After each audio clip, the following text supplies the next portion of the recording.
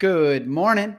Uh, this is Kent, Panama Equity Real Estate. Going to give you a little bit of an update about what is going on in the world of Panama real estate. And the good news is, as always, there's a lot going on right now. So, in case you guys uh, follow us on Facebook, uh, you would have seen that um, on my Sunday walk through my hood, which is El Cangrejo um, I was able to catch some people in uniforms in front of the new Veneto Hotel, and it's going to be called the Waymore. And man, for Panama veterans, you guys probably remember the Veneto. It was an interesting place. Um, at one time, it was like, you know, the most popular hotel in Panama. And then it closed down and under a shroud of mystery.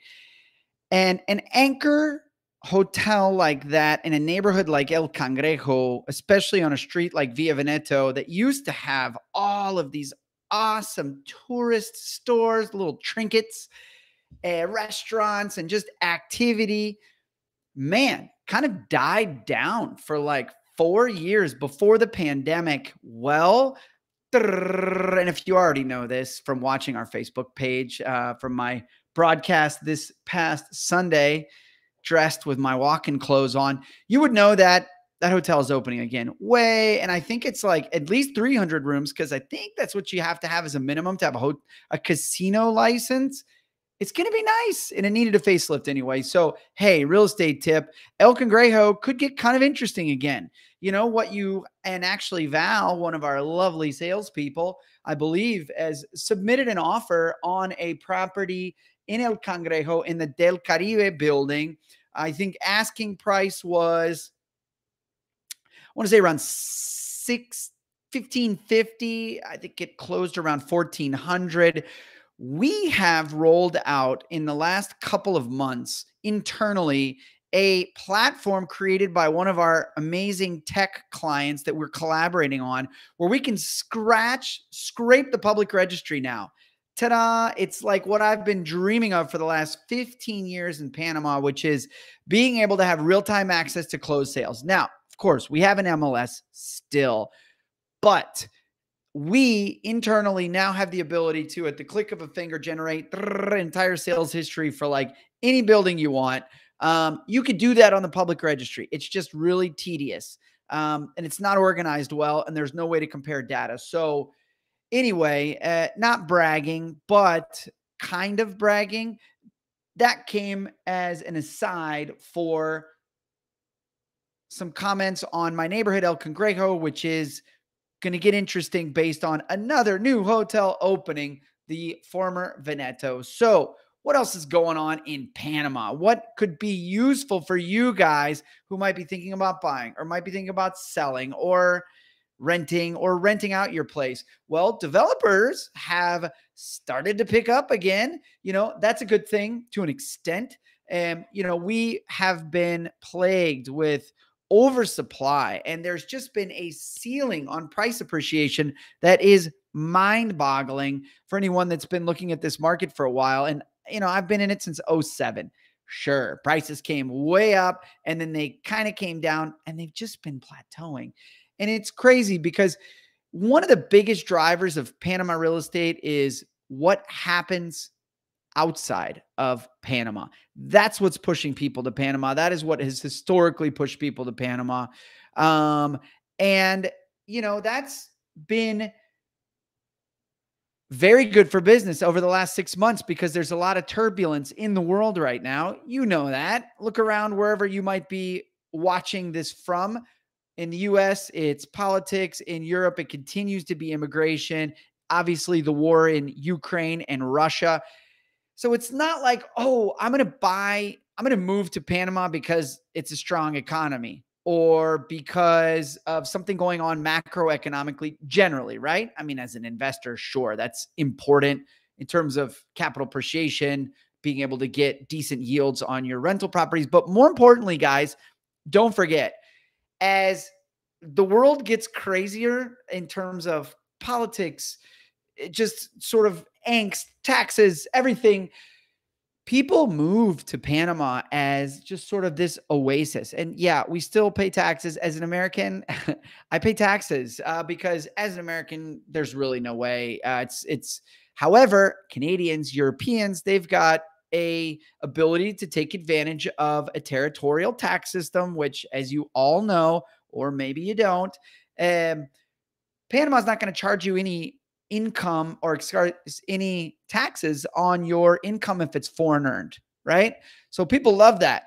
Uh, that's continuing to bring people to Panama, and it's a good thing. So, what else can I tell you about the real estate market? What's going on right now? So, again, developers have started launching some beautiful projects, Costa del Este, Coco del Mar.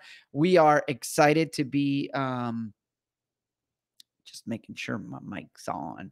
Um, hope it is. Please comment if it's not. Um, so it looks like Steve, thank you. Uh, it, comments are always appreciated, guys. Uh, that way, it's not just a monologue. Feel free to ask me anything. I'm actually going to be doing another one of these with a compilation of all the questions that people have asked us over the years. Well, the best and most relevant questions that the public might want to know. But what else is going on in the real estate market in Panama? Okay, city rents coming up. They've we've been tracking those certain buildings for sure, and really as a whole, rents have gotten a little bit higher, maybe five to 10% in the last 12 months. Most of that has been this year. Inflation is definitely being felt in Panama, but not like it is everywhere else in the world. Uh, specifically in the United States, you know, the cost of the general basket of goods like groceries, right, um, has come up for us here. I'm watching my milk uh, go up, and it's kind of annoying, but not like when I go back to the US. Um, Panama got kind of expensive. But the US has been running ahead of Panama such that people are coming down here now and they're like, oh, wow, it's cheap. And we're like, really? Um, nice to know that's happening again because there has been um, a bit of that gap is closed in terms of the cost of living difference between, and of course, it comes from depends on where you're coming from, right? If you're coming from like New York or like LA or, you know, Stockholm. Oh, we Panama's still going to be cheap if you're coming from, you know, Chicago or like Florida Panhandle. Um, things will still be somewhat cheap here. Things will be surprisingly expensive here. We could do a podcast or a video post on just that. What's still kind of weirdly expensive in Panama and what has still stayed cheap in Panama. I'll tell you what's still cheap, and that's Medicare. You know, uh, medical attention uh, and really first world, really nice technology down here in terms of like, you know, CT scanners and just, yeah. So there's still a great value. People are still coming to Panama for that, but this is not supposed to be a commercial. This is supposed to be an update. So, what else was I going to talk about? Beaches market is still good. You know, Coronado, Buenaventura, Bijao. Uh, we've picked up a lot of local sellers over the last couple weeks uh, who are seeing enough of an uptick in the market where they're like, hey, maybe we will finally put our property on the market. Um, so that's a good thing for if you've already purchased. Um, interest rates generally trend, um, you know, LIBOR or kind of whatever you're seeing in your home market in terms of interest rates kind of the same thing here which is up. Uh, so that's no fun but hey i mean it is what it is right? Uh, yields have also been forced to increase so yield being hey i am a owner of a property and i want to rent it out um, the, that's also driven up the rents as much as the market will bear because, hey, if, if you're thinking about buying a property and renting it out, then you're also going to be thinking about putting money in a CD or you'll also be thinking about buying maybe a US Treasury. And when those rates are like four, five percent, um, with generally less risk, less liquidity. Uh, well, I guess, yeah, I don't know T bonds. I can't pretend I'm not a financial advisor just say things sometimes to sound smart. Um, but I know kind of what the rates are, but I don't know how they're liquid there are. Um, I'm sure there's a secondary market. That's the point of what you can sell it for, right? Is what it's generating. So anyway, back to what I do know about, which is real estate. Um, rents have come up, yields have come up, prices have not caught up as quickly. So there's still a little bit of a gap. But I tell you what, there's not, and there really hasn't ever been, which is there's not much money left after you pay your mortgage. If you're looking to buy a property, put a mortgage on it and lease it, meh, you know, you can definitely cover costs. Uh, Catherine at the beach has done a great job um, with some of these Playa Caracol listings, right? That is a nice project. Uh, it got oversold in terms of the people that sold it back in the day. Oh, yeah, you can rent it out every night for $150 and look at these yields. We get that a lot in Panama. Um, just work with us and we'll tell you the real deal. But developers tend to uh, fluff a little bit. That said, Playa Caracol, not a bad project. If you're a surfer, if you're like to be on the beach, Punta Chame is kind of off the beaten path. It's about 15, 20 minutes down the road. So you got to get out there. That's 45 minutes and you hang a left or right, wherever you're coming from, go down the peninsula. Once you get there, it's beautiful. That said, investors are still looking at that. And, you know, maybe they might clear, let's call it on a $250,000 investment, they might get five grand out of it a year, right? Um, so it's not uh, super exciting from a yield point of view, but if you're using it, and you're more than covering your cost, then of course it's fine. It's not going to be like a boat where you just end up, you know, what do they say? First day and last day are the best days you own a boat. I kind of told the punchline before I told the joke, but you guys have all heard that before. Um, any questions? Where where are people watching from? It's always curious. I'm always curious. Um, next time I'll get other people on here. We need to get back on that, you guys. But there's just so much business. I'm out on the street. Uh, what else can I answer questions about or fill you in on? Who's buying? Still getting a lot of Colombians, Peruvians, people that are worried about their political situation. Again, if you're just joining me, the big secret about Panama real estate is that a lot of people buy because of what's going on in their home country. Maybe that's getting some diversity in their portfolio. Maybe they are worried about whatever is going on politics, religion, war, the usual stuff. Hey, Alberta, Canada. Darren, thank you for saying hello. That's nice of you. It's nice to know I'm not just, you know, speaking into a microphone. And hopefully some of this is valuable. Um, anybody have any questions? I can wait for a little bit. We always answer the questions in the comments as well. Um, Company news, we just sold another building, which is cool. Multifamily, 20 apartments, sold for about 1.8. It was generating around, gee whiz, think around 20K a month gross. And then taking out property management, um, vacancy commissions, maintenance, etc. Those buildings tend to do a little bit better. Uh, you know, that would all amount to about six grandish it's kind of expensive. Um, taxes, running utilities, all that jazz. So, uh, larger buildings, obviously, you get some economies of scale in terms of hey, you know, uh, more more control in the building. Your costs can get spread out over more units. Uh, we also offer a discount on our property management rates, which are usually 10%, um, 20% for Airbnb. Hey, Airbnb's been rolling in the city. We don't really do it except for buildings that allow it. And there are a lot more buildings that don't allow it where you can easily find an Airbnb. We won't be managing those because we don't want to uh, expose our clients to any potential repercussions because there is a 45 day um, limit on yeah you you can't sign a lease or have someone coming in all right moving to panama Lynrock come on down. Uh, the water's great. Miami, interesting. Yeah, I mean, we get a lot of Florida people. Uh, we get a lot. Oh, Casco View. Thanks for asking, Desmond. Um, love Casco View. Uh, I was one of the original buyers there, so I am slightly biased. I actually um, sold it to buy out my partners, but hey, nobody looks at the internet. So, um, yeah, Great project. Brian Wagner is a fantastic developer. We are so close. We're going to be managing quite a few, and they do have a. Um, all right, El Cangrejo. Yes, Lynrock. That's my neighborhood.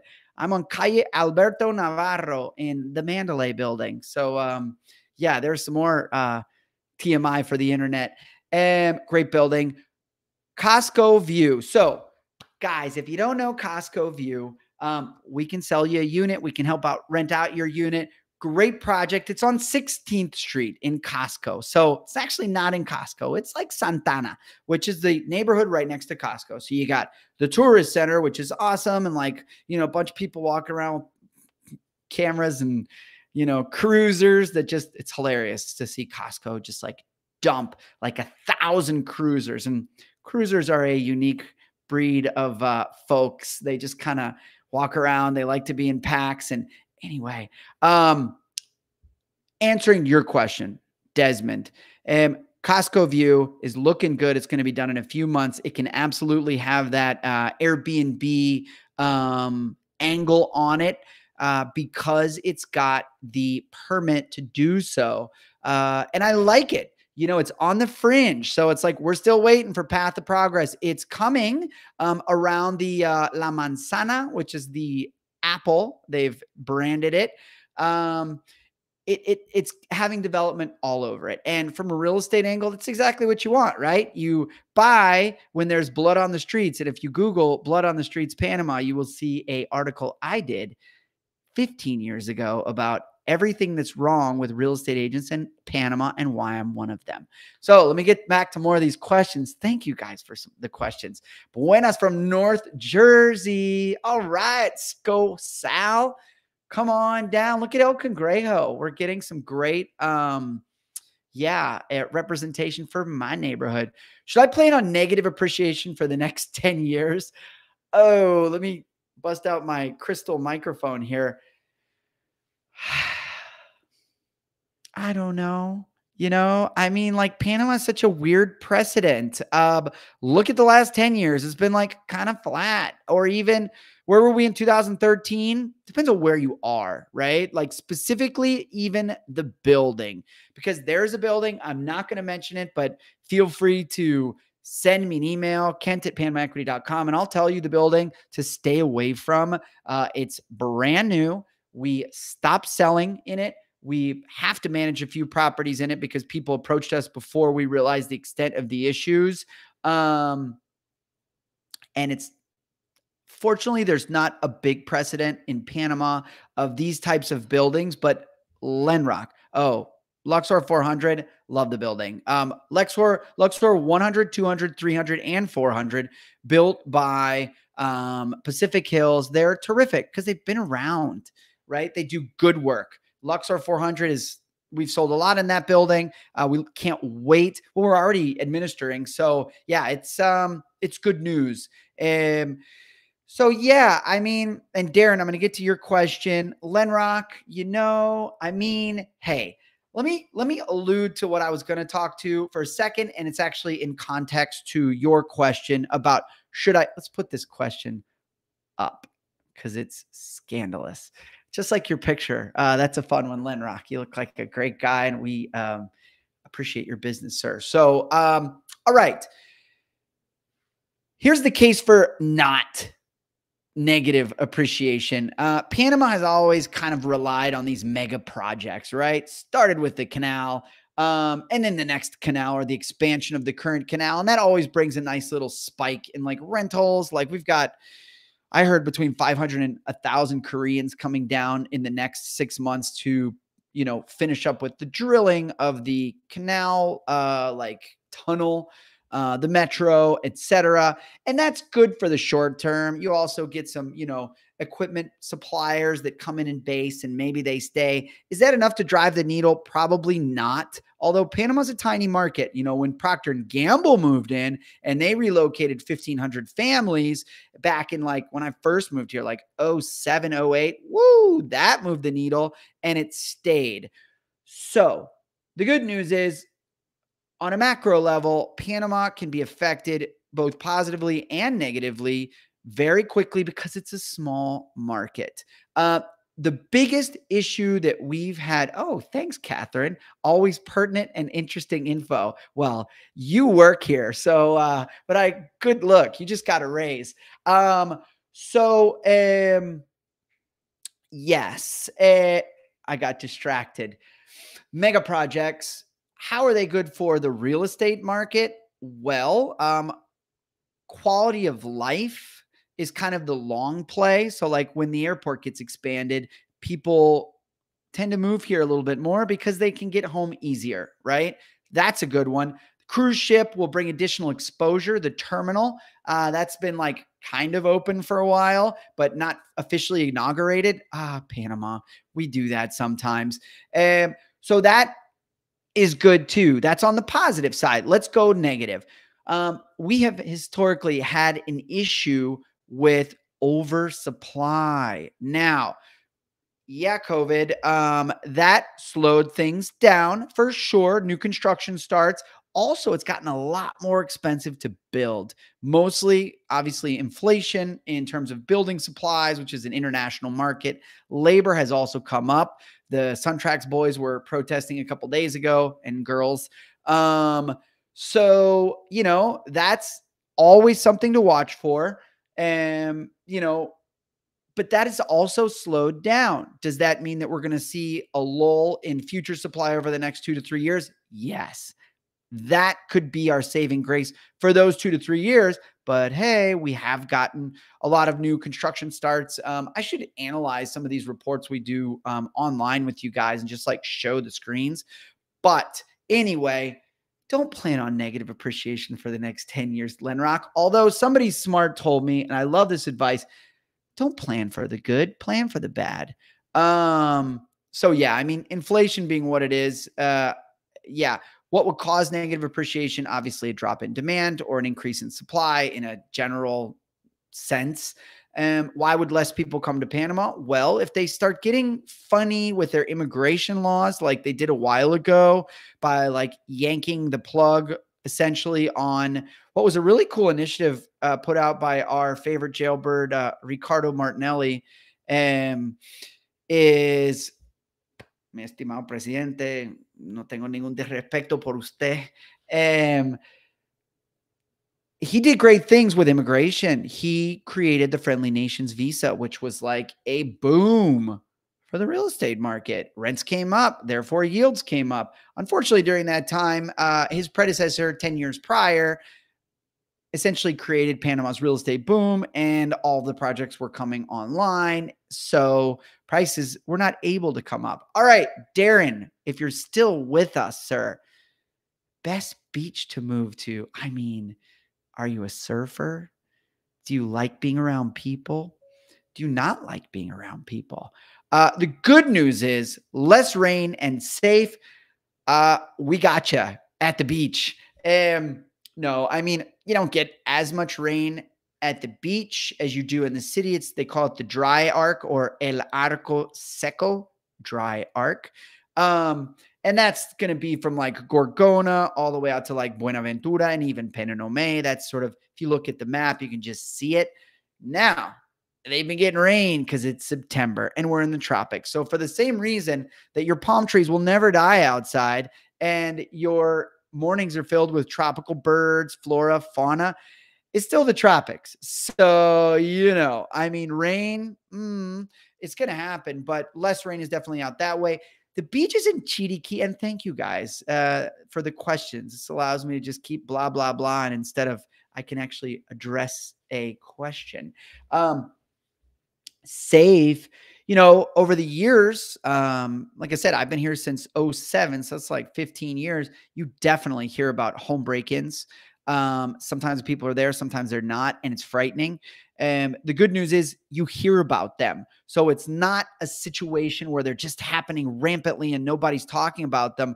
Rather it is pretty infrequent so it hits the news. Now not the major news channels but the expat groups uh, those are great sources of info. You know, I mean, just like anywhere on the internet, you get your negative Nancy's and uh, Nicks. Uh, um, but uh, people are very unfiltered there. And I would say crime, you know, what you got to worry about crime in Panama, specifically at the beach as a resident, is just not leaving your house like empty for like a month. Condo, you're good. Um, when you have contractors coming in, if you got a bunch of people who you don't know, you probably don't want to have like your hundred dollar bills just like sitting at the kitchen counter, right? Um, generally, I've found that Panamanians are not uh, as a culture like petty thieves, right? Of course, there's an exception. We got 4 million people down here.